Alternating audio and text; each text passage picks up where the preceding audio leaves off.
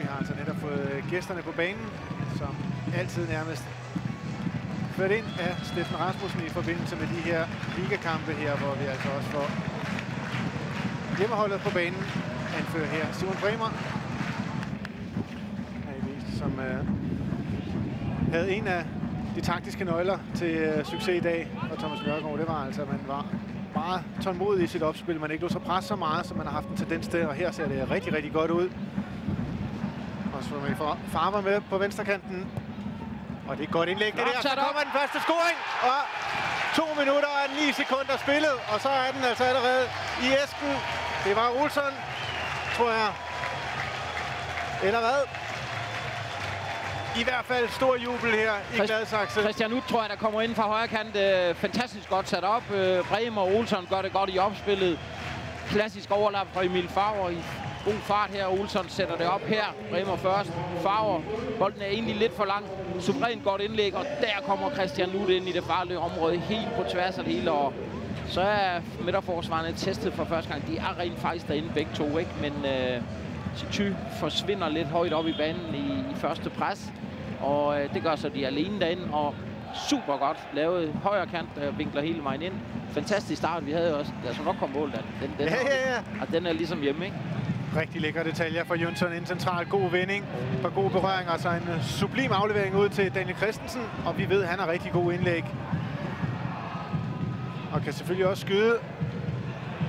Og det bliver en afslutning her. Kipper oh! væk med højre benet til med.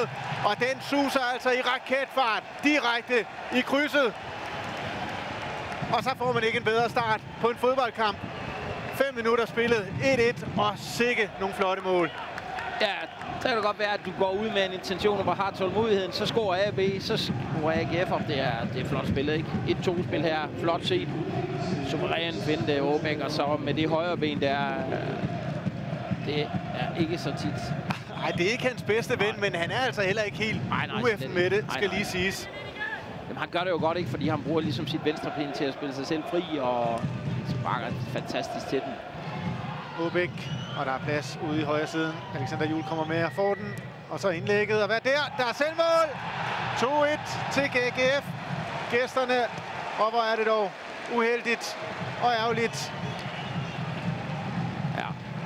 det er Matti Olsen, den unge forsvarsspiller, som øh, strækker sig for at afværge situationen, og i stedet for altså forsager den. Men det er flot spillet af AGF nedefra. Det er et, et AB-hold, der egentlig er i balance, får de alligevel spillet ind i nogle øh, gunstige øh, mellemrum ind i midten, ikke? og får det sat op her. Og den aflevering skal jo heller ikke komme forbi Matti Olsen. Nej, så, det skal den ikke. Men det skal heller ikke havne derpå. nej, nej, nej. Daniel Christensen være herude. Andreas Laudrup igennem. Og der forsøger han. Og det brænder virkelig på. Og nu er scoring også en kendskærning. Tre chancer har de AGF for at få vippet den der ind. Og så ender det altså med til allersidst at blive scoring alligevel. Hvad til? Ja. Det er flot, flot spillet, ikke? Det er Daniel Christensen, der får spillet Laudrup fri og selv går ind i sådan en energisk genpres her som er helt afgørende for, at de fastholder. Igen de der flade bolde ind bagom forsvaret herind.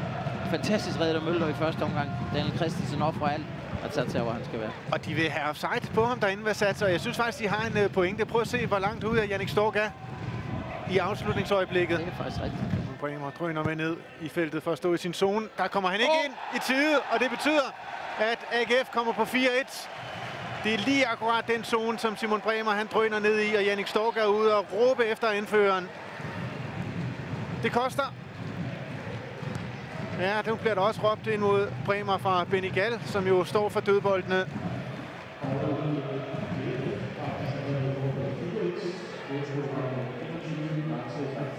Men øh, selvfølgelig lige for god ordens skyld. Ja, det er altså bare Vasatse, som øh, kom på måltavlen for anden gang i den her kamp. Det er en god situation. 4 mod 2 er de faktisk. Jøntøren vipper den videre ud. Stefan Petersen ikke offside. Afslutter, og så scorer han. Yep, 5-1 til AGF.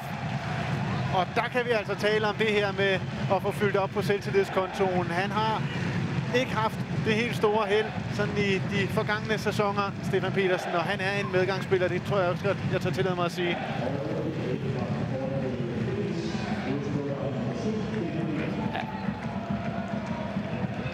Gør det helt rigtigt.